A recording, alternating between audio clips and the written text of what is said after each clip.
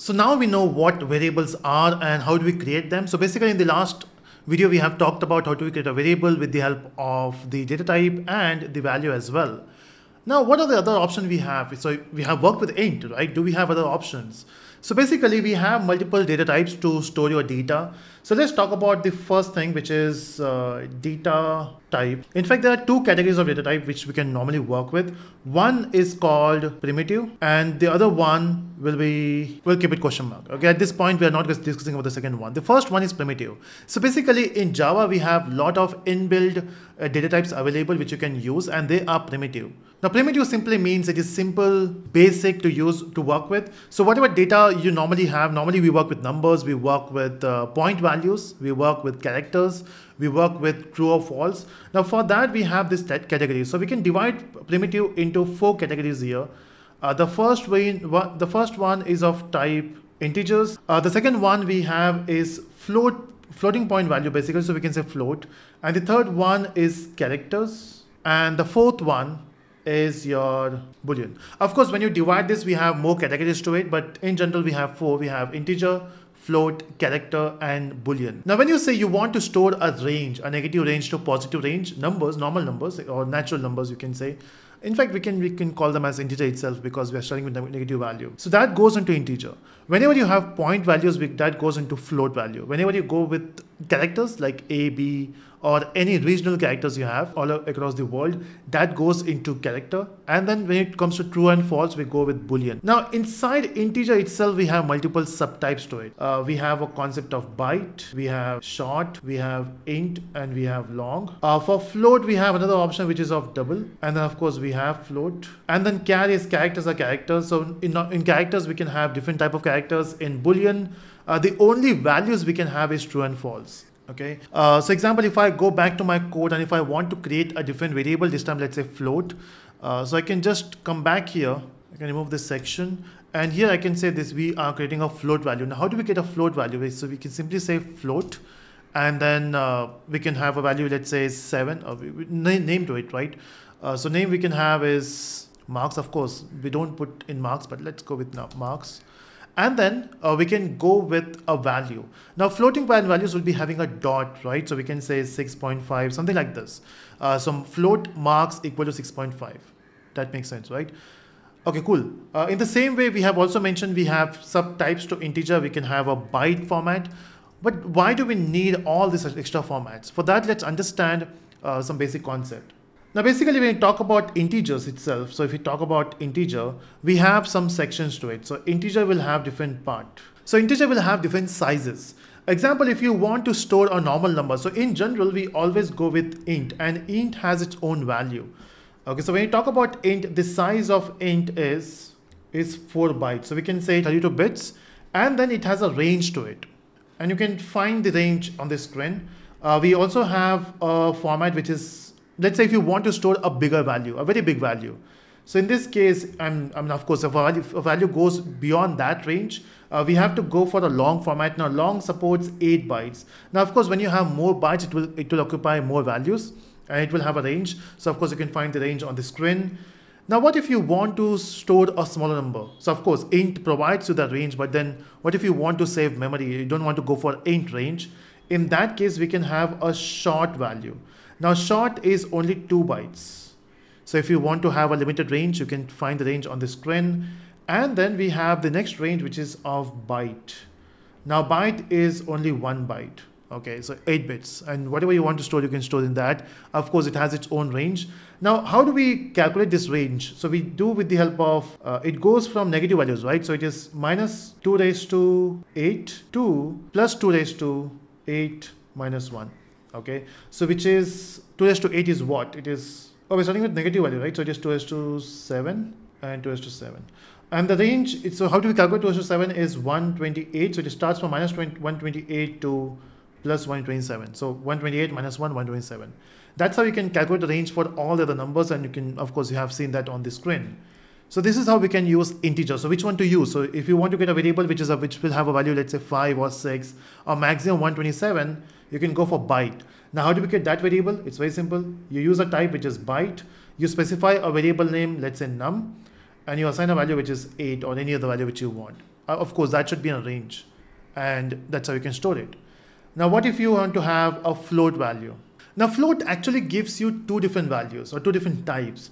Now it depends upon which programming language you have worked with before. Example, if you have ever worked with C, we by default we have a value which is float. So by default we have float there. Now float only takes four bytes and it has its own uh, values you can store. And then we also have an option of double, which takes eight bytes. Now, what do you think, which will be default value? Think about it. Will it be float or double by default in Java? So default is actually double, not float okay? Now why double? Is because see float are good when you have limited values when you have limited precision. Because after your point value example if you have value which is 126.5678 or whatever values you have so float will have a limited precision set here.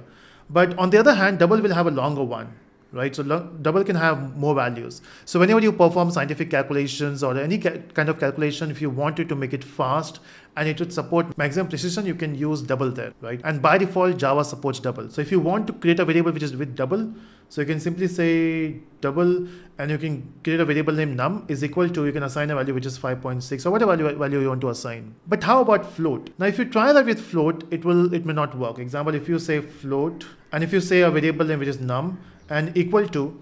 So when you try to assign 5.6, it will give you error.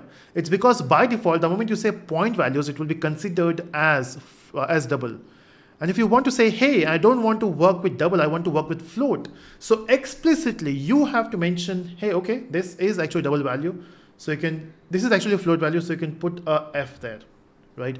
So 5.6F, that's how you define it's a float value.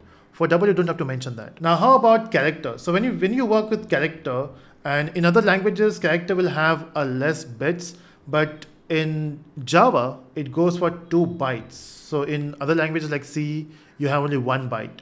It's because it normally occupies the integer range. It normally occupies the character range ASCII values. But then in Java, we thought, hey, can we just have all the characters in the world, not just English, all the languages. So Java actually follows something called Unicode, not ASCII by default. It will support Unicode and it has two bytes, which is 16 bits. So it has a bigger range, right? So this is a range it normally works with. So of course you can work with any type of values you have and uh, any type of characters basically you have.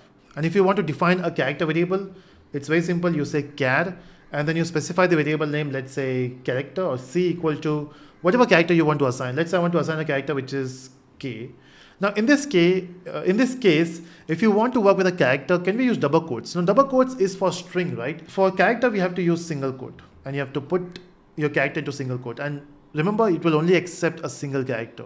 And next we have of type boolean. So if you want to work with Boolean, now Boolean will only accept true or false. Okay, no other, there's no subtypes here, only true or false.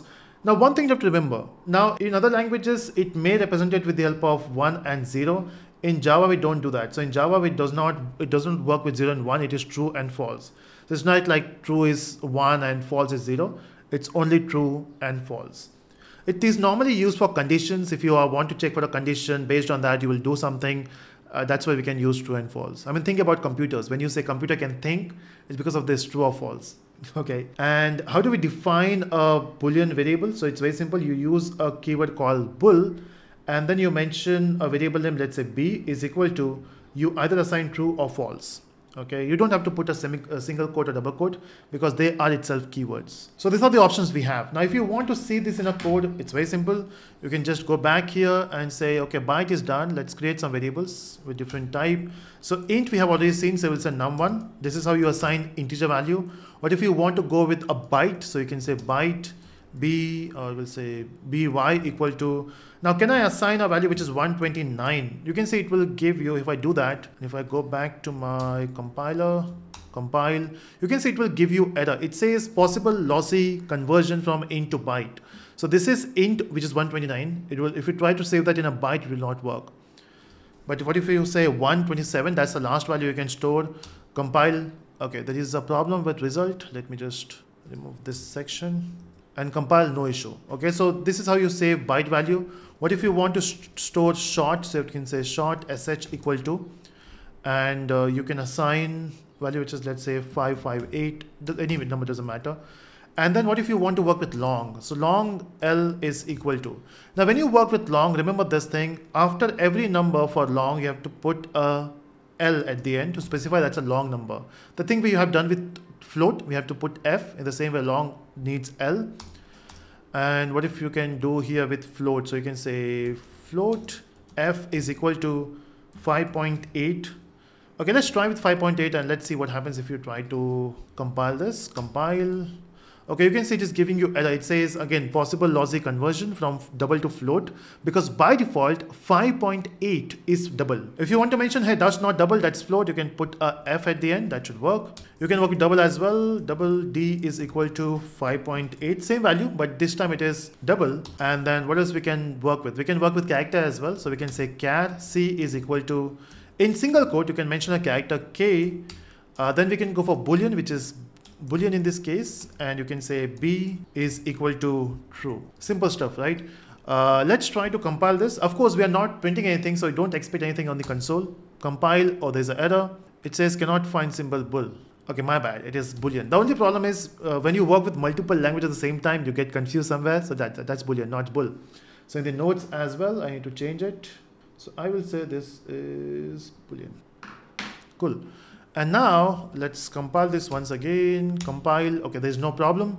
And let's run this. Of course, it will run, but then you will not see any output, right? No output because we're not printing anything.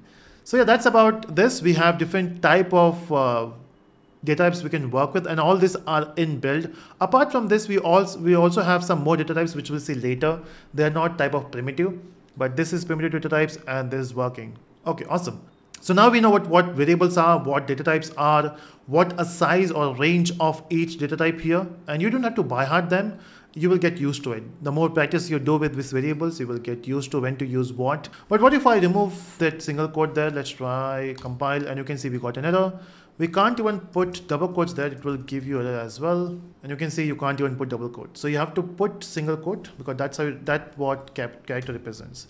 And the character can be numbered as well. So you can put a character here, which is 8, which is a character itself, right? Digits are also character. No error. Cool. So yeah, that's it from this video.